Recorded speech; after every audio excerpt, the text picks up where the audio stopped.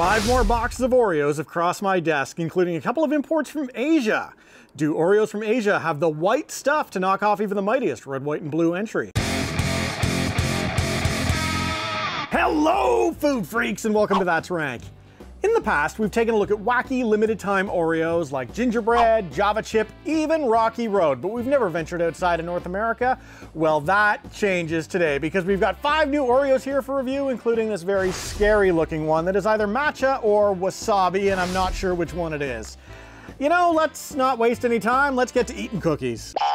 Mocha Caramel Latte is one of Oreo's newest creations, getting a release back in the month of April.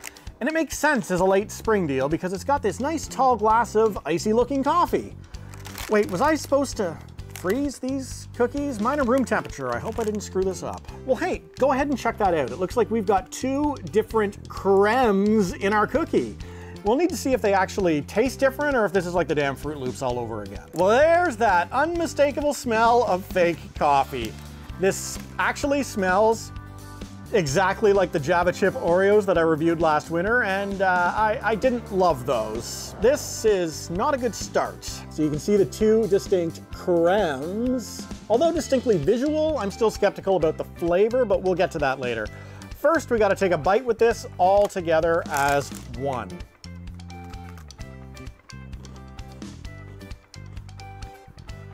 Is it weird that I'm not excited about this? Like, I feel like coffee and caramel, like those belong together, but I don't know, it's kind of bleh. Eating it, I can't tell if the creme was an amalgamation, so I'll get another cookie and see if we can separate those two, if we can.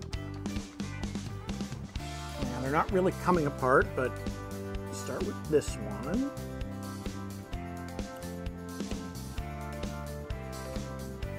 Flip it over.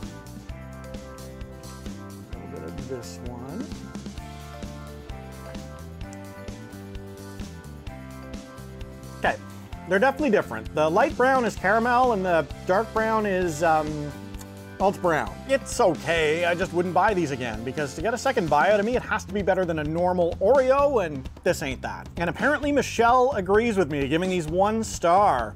Very disgusting cookies. Taste too much like coffee grinds and doesn't taste right. Fun fact, coffee grinds used to be my online dating name. This is the second of the latest new releases, and I'm unreasonably excited about this. Skor bars and Crunchie are my top level candy bars, so if this does any degree of emulation of either of those two things, I'm putting on like five pounds this week. And if you're not familiar with the Crunchie bar, check out my video from last Halloween where I covered Canadian exclusive candies and you'll see what's up. Now the package is promising sugar crystals, and I love it when Oreo puts crunchy little extras in the cream.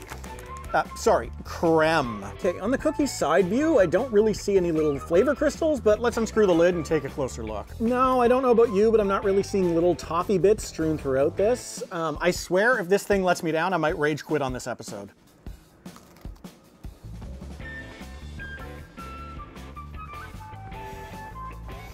Oh man, that's the stuff. Oreo, I love you so damn much, and this is why. It's perfect. If you're a toffee fan, they've absolutely captured the flavor of a toffee candy bar. I feel weak in the knees right now. I think I'm in love. S. Mark gives these one star and reports, I'm an Oreo fan and decided to try a new flavor. The artificial taste was overwhelming with no toffee taste. As for the sugar crystals in the filling, I think they forgot to put them in. The filling also had a light, whipped consistency and tasted like flavored grease.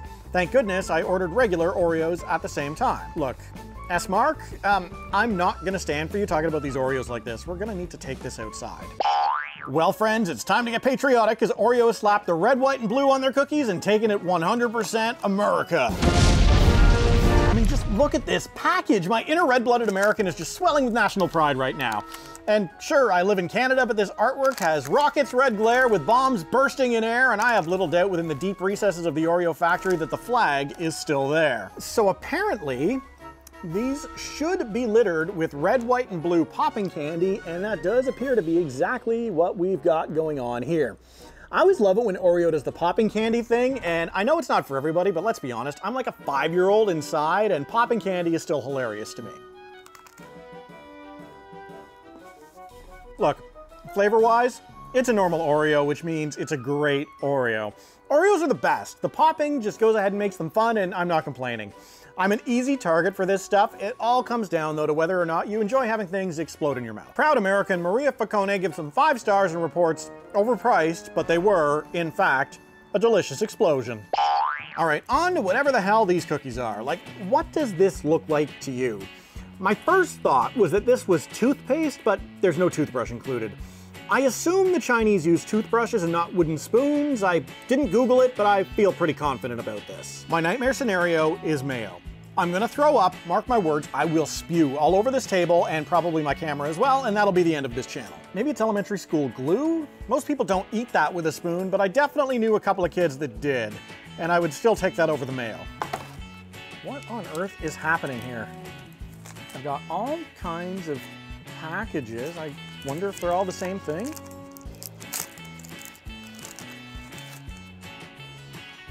Okay, this has a really weird funk to it, and I don't know how I feel about that.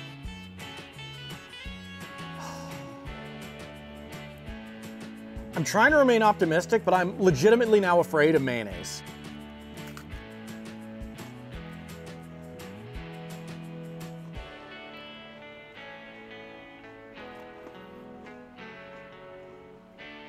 I guess it's a mint Oreo. Like, I'm not ruling out toothpaste. It's got, not, oh, it says right here on the back. I suppose I could have read the English ahead of time.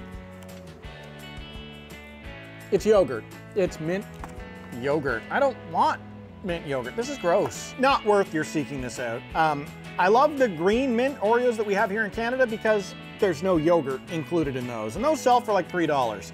This is like $10, save your money and eat a better cookie. I give you a review, but I can't actually find any online. You know, apparently the Chinese like to keep their weird mint yogurt Oreos a secret from the rest of the world. I'm not ruling out that there's been a full government ban from talking about them online, but maybe it's just a trick to get us to eat terrible Oreos.